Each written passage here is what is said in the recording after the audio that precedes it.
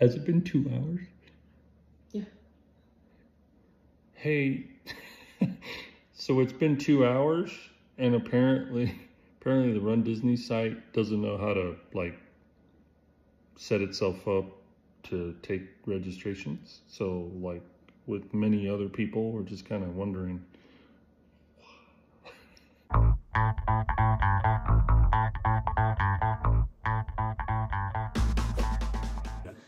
Was trying. hey, hey, hey, everybody. Thanks for uh, tuning in. Uh, here we are with uh, some updates. Uh, you noticed by our intro, uh, we try to sign up for uh, the Disneyland half. Whew, boy. Yeah. Yeah. So, um, basically, this week, I, like last week, we really decided that we should probably sign up for the Disneyland Half Marathon. Two reasons.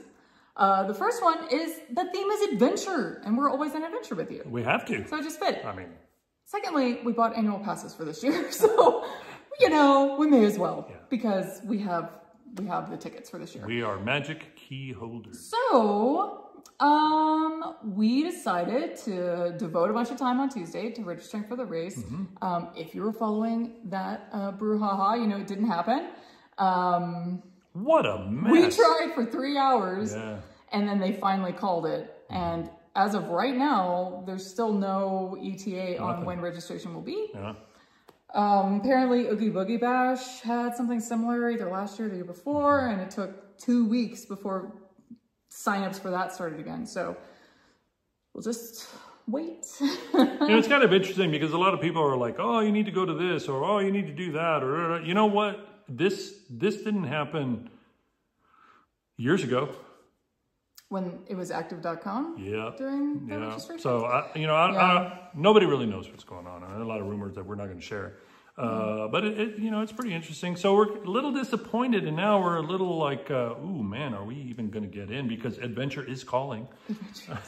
and Safari Mickey is so cute. I know. So anyway, that got us kind of thinking about running again because we haven't been running. No. Not really since wow. I mean, here and there, but Yeah, yeah. not really. Yeah. Um, one fun, just a little side note, uh, one fun thing we did this week, David got our um, old bicycles tuned up. So we got to go for a bike ride. And so we're sore head to toe for some reason, even though that's just really kind of working your legs. So Yeah. we're, we're hoping that that'll be like some fun cross training to get some weird muscles built up as we think about training Right. In thinking about training and trying to register for this race, um, I kind of mapped out the rest of our year. uh, and by year, I mean like 12 months. So going through like May of next year um, of trips, races, vacations, whatever. I, I've mapped out pretty much our next year of vacation. Yeah. Um, spoiler, there's a lot of Disney in there. Again, we bought annual passes Yeah. this year, so we're gonna really milk it Yeah, yeah. as much as we can. But um, it caused me to like think about the different races that we have, when we might want to start race, uh, training for that. Um, so I've started to kind of tentatively map out what we're gonna do. It looks like we're gonna start training in August. It's pretty ambitious. Yeah. So here's here's something else that's different this year. So um, we're we're hoping to get into the Disneyland half marathon. Um, three weeks after that, whether or not we get into that, we're signing up for the El Paso marathon, full marathon. That race has a six hour cutoff, which is a little bit faster than how we run run, now. yeah. So our training is going to be consciously trying to maintain a 13 minute mile at least. Um, that'll give us a little bit of buffer. Um, and normally we kind of slow down quite a bit when we're doing that kind of distance, but we live at altitude. Um, we're doing hill training by default because we don't have a choice. yeah, right. And so um, we're hoping that if we're consciously training to a specific time, combined with the altitude training, combined with um, the hills, we'll be able to carry through. When we ran the Disneyland half this year, um, we, and I looked at our second half. So our first half was filled with like 15,000 bathroom stops. So we can't trust our, both of us, but we can't trust our times on that. But the second half of the race, we were maintaining like a 1245 to 3, Yeah. 1330. Yeah. kind of time frame. So I think if we tried, we can probably hopefully get to 13 minutes. Here's the deal too. That here's what gives us hope. I was sick. He was Uh, sick. I was really really sick, and um, we we kind of weren't trying because we were basing the second half of the race on. Oh man, we really really kind of fall off near the end. Mm-hmm. So let's let's uh, uh, preserve our energy. And at the end of the race, we're like, oh my gosh, felt fine. we felt great. So, so, and, and here's the other thing, you know, the whole, uh, elevation training, um, is, is a, is a real thing, right? The benefits of it. I had to have some blood tests recently and, uh, there was a, a marker on my red blood cells. Uh, I have a ton of red blood cells. I was like, yeah, cause we live at elevation. so, uh, yeah, So- that, that's, so, so Yeah. that gives us hope that we can do And. El Paso isn't sea level. You know, Anaheim is sea Hmm. level. El Paso though is like a thousand feet, and we're at 8,500 feet. So Yeah. it's much closer to sea level. So we're hoping that that will carry us through a little bit. what's bit. the next race you have? So that's that's the first race. The next race we actually had planned to sign up for, but we're now rethinking was Springtime Surprise. Yeah, So in Florida. in Florida, the the 10 miler, um, and we have our room booked. Um, Mm-hmm. We talked about this a few months ago. The we're we're Disney Vacation Club, so you you book your rooms 11 months in advance. So you really have to like be a planner to make that work. We booked that room. I think what we're probably going to do is try to widget so that we're not there. I don't know. We're we're we're trying to take off fewer Sundays from work. Basically, is what this Mm-hmm. Is boiling down to. And Yeah. we had with through all the other races, several of them Yeah. like kind of in a row. Yeah. So what we're going to try to do is you know maybe get there on Monday and leave on Saturday instead of Saturday to Thursday. So springtime surprise looks like it's out. So no springtime surprise, but we are still planning to go to Disney World right now because we have the room booked. yeah. Yeah. And then Um, and then the end of our 40 weeks of, um, of running training, it will culminate in the Calgary Marathon.